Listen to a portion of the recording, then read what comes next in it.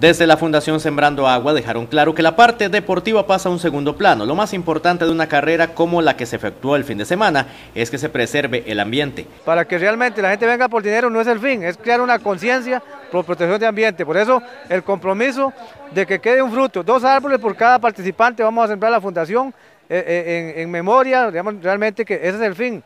Aquí hemos dicho, bueno, eh, sabemos prácticamente quién va a ganar la carrera desde antes, pero sí nosotros lo que estamos buscando es crear ese impacto, esa conciencia de que el tema aquí es cómo protegemos el ambiente, cómo creamos conciencia de que debemos sembrar un árbol día a día, o por lo menos no cortar el que existe, ¿verdad? Entonces, realmente los objetivos de la carrera de, ir posesionándonos. Los árboles que se sembrarán son el mejor producto de este tipo de competencias y el apoyo de la gente también es importante. Hay mucha carrera, ¿verdad? Todos los domingos tenemos carrera, entonces como que tampoco el comercio puede tener este, eh, un presupuesto muy alto para, para estar financiando carrera, pero realmente hemos sentido repito, para ser la primera edición, un buen apoyo de parte del comercio y las instituciones.